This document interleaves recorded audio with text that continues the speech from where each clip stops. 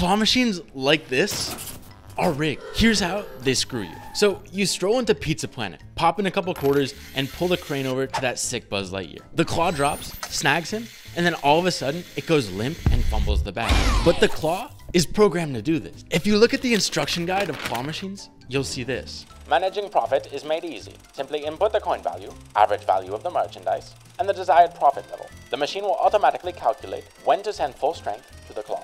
So say it costs 50 cents to play, and Buzz Lightyear costs $7. To make a profit of 50%, the machine will automatically send full strength to the claw every 21 games. And you can program dropping skill, meaning they can make it grab that shit hard, start bringing it over the hole, and then suddenly go limp.